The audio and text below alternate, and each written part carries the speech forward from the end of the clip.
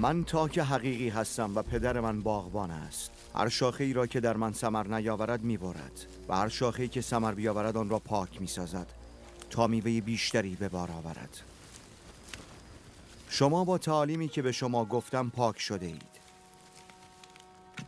در من بمانید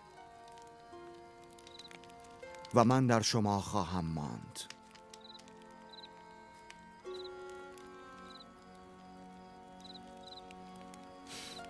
هیچ شاخه ای نمی‌تواند به خودی خود میوه دهد مگر آنکه در تاک بماند.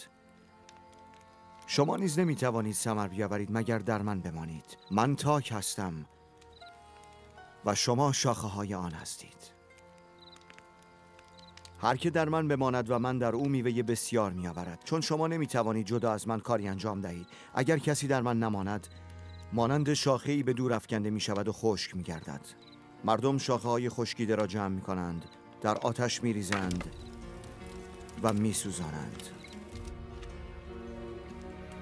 اگر در من بمانید و سخنان من در شما بماند هرچه می خواهید بطلبید که حاجت شما برآورده می شود جلال پدر من در این است که شما میوه فراوان بیاورید و به این طریق شاگردان من خواهید بود.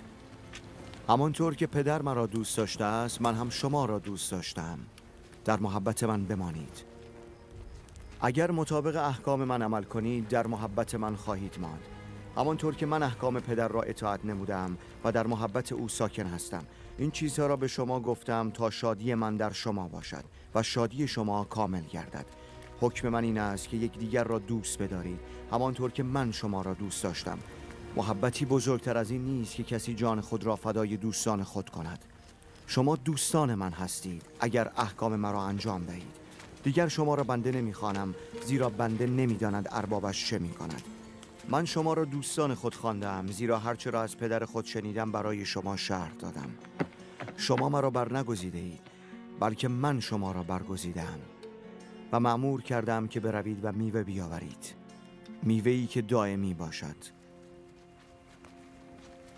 تا هرچه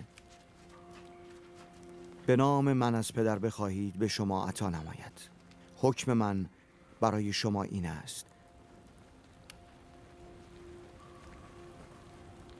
که یکدیگر را دوست بدارید.